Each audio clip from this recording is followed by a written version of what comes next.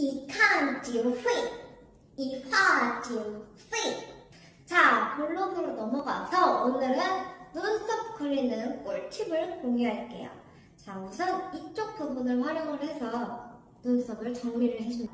눈썹 결을 따라서 자, 일단 눈썹 밑에 라인을 잡아주시고 그리고 눈썹을 그리실 때는 눈썹 끝 부분의 위치를 잘 파악을 하셔야 돼요.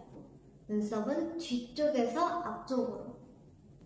그리고 나서 이쪽 부분을 다시 활용을 해서 눈썹 앞쪽을 너무 가득 채우시면 너무 어색해 보일 수가 있으니까 여기는 살짝 채워준다는 느낌으로 그리고 마찬가지로 뒷부분으로. 그리고 저는 눈썹의 위쪽 부분에 음영을 주거나 채우질 않아요. 너무 채우게 되면 확 구분해져서 어색해 보일 수가 있기 때문에 짜잔! 음, 지워주시면 돼요. 네, 눈썹 색이 너무 진하면 강해 보일 수가 있어요.